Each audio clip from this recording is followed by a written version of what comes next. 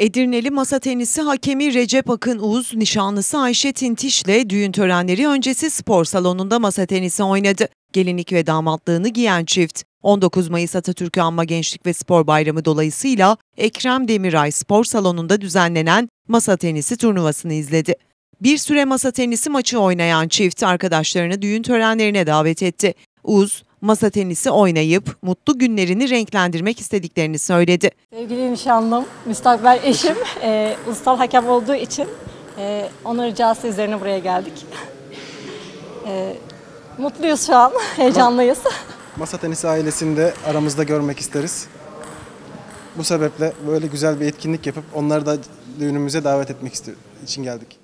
Pakize Uz da düğün nedeniyle oğluyla birlikte turnuvada görev alamadıklarını, spor salonuna gelerek renkli bir davette bulunduklarını aktardı. Edirne Masa Tenisi il temsilcisi olarak oğlumun da e, ulusal hakem olduğu için hani bu etkinliğimizde burada tatlı telaştan dolayı görevli olamasak da yine de masa tenisi içinde olduğumuz için burada hem davet edelim dedik hem ortamda bulunmak istedik.